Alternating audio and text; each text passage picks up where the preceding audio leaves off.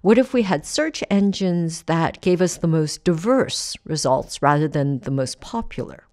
What if opposites attract? Or even better, what if we looked at mutual indifference, the way we're mutually indifferent to something and use that as the basis for connection? My name is Wendy Chun and I'm the Holtzbrinck Fellow for this semester. My project this semester is called Discriminating Data, and it looks at the ways in which network algorithms uh, perpetuate discrimination. So, my key question is how does identity persist in the era of big data? How do categories of race, gender, class, etc., how do they proliferate through and as correlations or through proxies?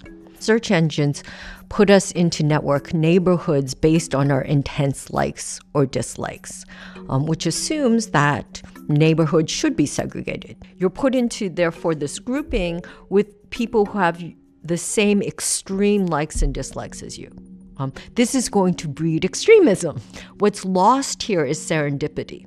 What's lost here is if you're always put into a category based on your intense likes and dislikes or your predictable pastness, is the idea that you could ever change.